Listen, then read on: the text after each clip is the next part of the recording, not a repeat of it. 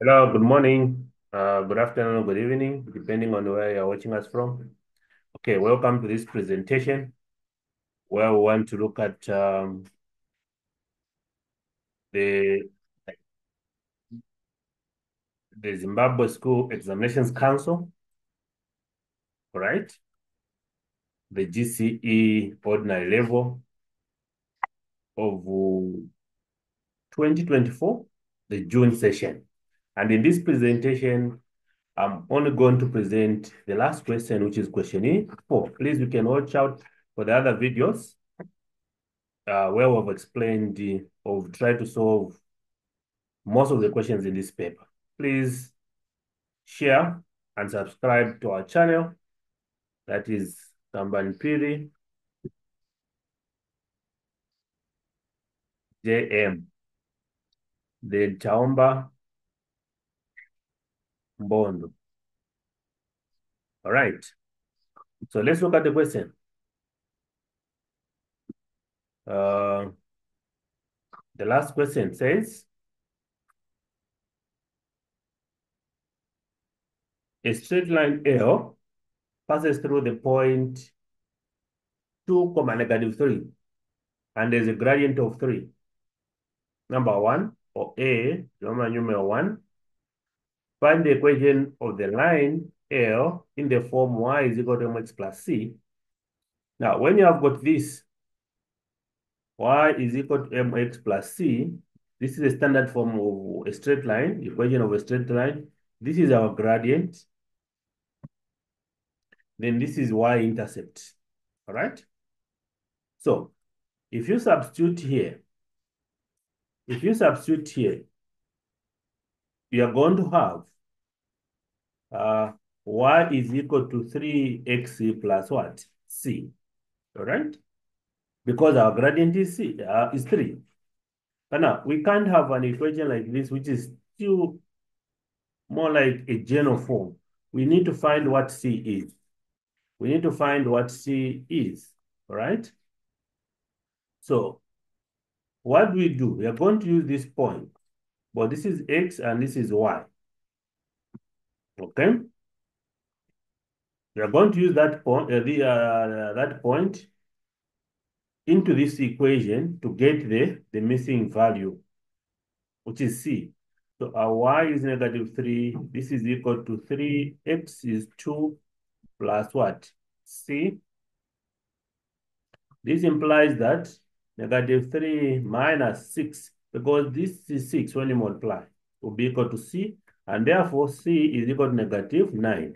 Hence, the equation now is y is equal to 3x. Our c is negative 9. This is your solution. y is equal to 3x minus c, 9. All right.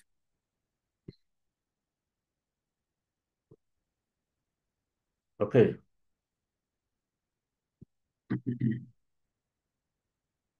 Check the relationship between line L and the line whose equation is this. So we have line L. Allow me to call it 1. Uh, the equation, the equation is given as y is equal to 3x minus 9. Then we have got another line, I'll call it line 2. The equation is equal to y is equal to 3x minus c minus 1. Now, what is the relationship between these two? We're able to identify that, we're able to see that uh, the gradients here are the same, okay? And if the gradients are the same, what is it that we're able to conclude?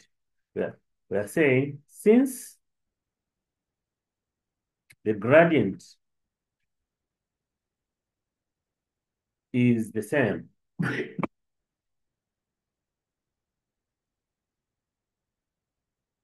for the two equations,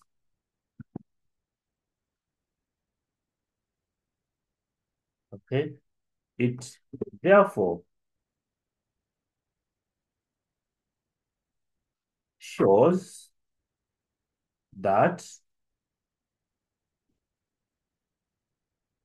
uh, y is equal to 3x minus 9 and y is equal to 3x minus 1 are parallel. These lines are parallel. That's what it means. So here you can say they are parallel. They are parallel lines. That is the relationship. Okay, great. Let's look at um, the next question. Given that a function f defined on x is equal to x plus k squared, all right? Uh, let's find f of 2. So this will be 2 now. And that f of 2 is 29. So this will be 2 plus k squared is equal to 29. What is the question therefore? The question therefore is find the two possible values of k. Great. So well, this implies that we have 4 plus k squared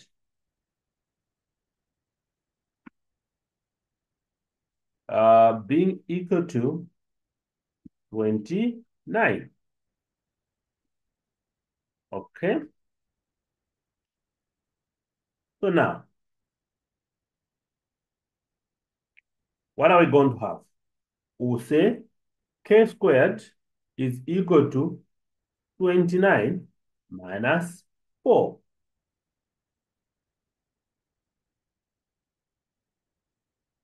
And k squared is equal to 29 minus 4 is 25. Therefore, we are supposed to find the square root of 25. So, if we introduce square roots both sides, therefore k is the square root of plus or minus 25. And hence, k is plus or minus 5. And that is our solution. All right. Oh, this is the end of the equation. So we are saying, therefore, k is plus or minus 5. Okay, this is where we end for this session. Please subscribe for more videos and turn on the notification button. Subscribe to Kamban Piri. JM.